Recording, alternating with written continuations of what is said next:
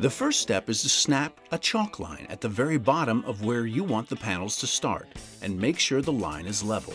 Then proceed to install the starter strips across the bottom of every wall that will get EZ-Rock panels installed. Always install panels left to right. Panels are marked 1, 2, 3, and 4 on the top lap.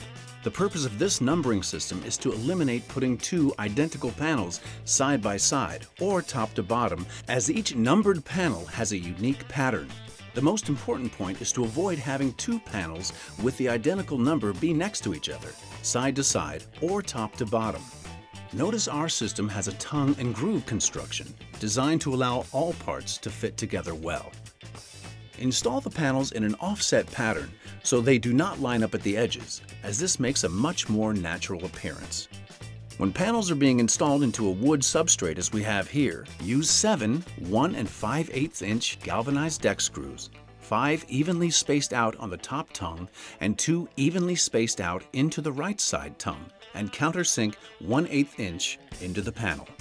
When installing into a concrete substrate, please refer to our installation guide posted up on the EZ-Rock website. When installing panels, you can run into two distinctly different situations, and it is important to handle them as follows. Installing panels on a wall where the left-hand starting point is a trim piece and corner piece on the right-hand side facing the wall. Note, the same installation method applies when starting at an inside corner and working towards an outside corner on the right. Because we know this wall starts with trim pieces on the left and ends with corner pieces on the right, the trim gets installed first and the corner on the first row gets installed next but only loosely tacked on, as it will be removed later. Now proceed to measure from the right side corner to the trim on the left side. To determine how many full panels you will need, the remaining space will be a partial panel that will need to be cut. Once the first panel width is determined, make a straight cut on the left side of the panel and proceed to butt to the trim. Install all panels across the row, screwing into the tongues on the top and right edge of the panels. Before the last panel is installed, remove the loosely tacked corner piece so the last panel can be properly secured on the right side. Then properly fasten the corner. Proceed up the wall in the same manner to ensure a proper stagger and natural appearance. Seeing that this wall has corners on both left and right sides, we will install the left and right corner on the first row first. Then proceed to install full panels from the left corner. When you approach the right side corner piece, measure the remaining distance between the last installed panel and the corner piece.